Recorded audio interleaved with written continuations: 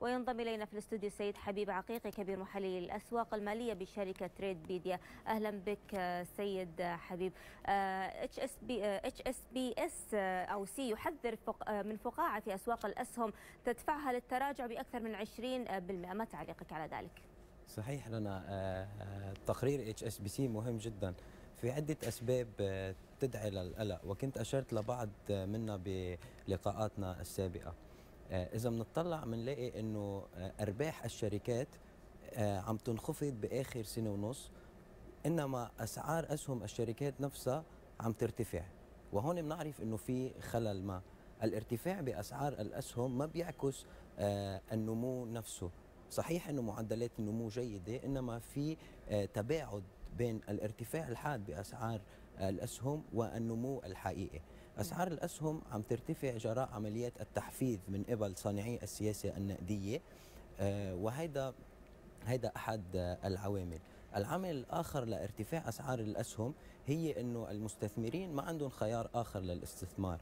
فالفوائد هي سالبة إلى صفر بمختلف أنحاء العالم، عائدات على السندات كذلك الأمر سالبة وبتوصل بأفضل الحالات إلى 1.5%، فهيدا عم يدعى عم بخلي المستثمرين يلجأوا لاسواق الأسهم ليحققوا عوائد. إذا ندرس الأساسيات ففي عنا بيانات التجارة الصينية هي إلى تراجع، حركة الشحن البري والبحري إلى تراجع، معدل شراء الشاحنات الضخمة إلى تراجع هالشاحنات يلي هي مسؤولة عن نقل البضائع. فهل كل كل هالأرقام هاي بتدل إلى ضعف الطلب والانكماش بالاقتصاد؟ هذا الأمر رح يؤدي بوقت من الأوقات إلى فقاعة. بالإضافة لهالأساسيات هول فنيا الأسواق عم بتجهز لإكمال نمط انعكاس يلي هو ال head shoulders أو الرأس والكتفين نمط فني نمط انعكاس. على كافة المؤشرات الداو جونز وال S&P وإذا تم اكتمال هالارقام هالنمط هيدا هيدا بخلي النهج الأساسي الفني يتوافق مع النهج الأساسي. ولما يصير في عندنا توافق بين النهجين بتشهد الأسواق حركة توجهية قوية.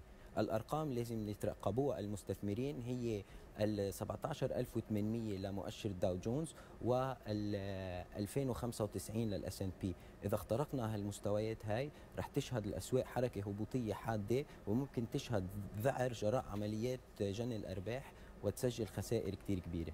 نعم ننتقل إلى الذهب. اليوم أونصة الذهب مستقرة تقريبا عند 1250 دولار للأونصة. شو تطلعاتك المستقبلية للذهب؟ صحيح الذهب عم يشهد استقرار بالقرب من منطقة الدعم عند 1250 بالرغم من الهبوط إلى مستوى 1246 نهار الجمعة ارتفع الذهب وقدر يستقر فوق هالمعدلات هاي. أساسية يعني ما في أساسيات بالسوق داعمة حقيقة لهالهبوط بأسعار الذهب. فالبيانات التجارية بالصين ملف دويتشه بانك يلي ما زال مفتوح وعم بيأثر عم بيهدد القطاع المصرفي عالميا. مسألة البريكزيت وتداعياتها على الأسواق كافة والحديث عن hard Brexit كل هالأسباب كل هالعوامل بتؤدي لزيادة الطلب على الذهب مش العكس. كما أنه مسألة رفع الفوائد أصبحت مسعرة إلى حد كبير بالأسواق. تنبتعد شوي عن الأساسيات فنيا الاتجاه هبوطي خصوصا مع اختراع اختراق مستوى ال 1300 إنما مع الاستقرار بالقرب من مستوى ال 1250 لازم نبلش نفتش على انعكاس بالقرب من هالمستوى هيدا.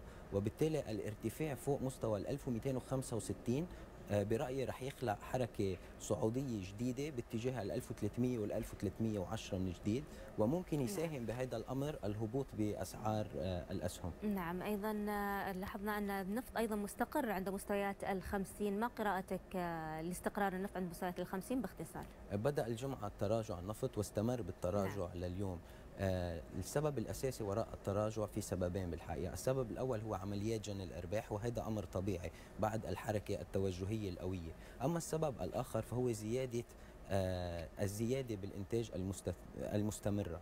أوبك انتاجها عند أرقام قياسية، نعم. روسيا انتاجها عند أرقام قياسية، بأمريكا منصات الحفر عم بتزيد أسبوع بعد أسبوع، آه، لذلك بالإضافة إلى أنه آه، فهذا كل المسائل عم بتؤدي لشكوك عند المستثمرين حول إمكانية نجاح الاتفاقية.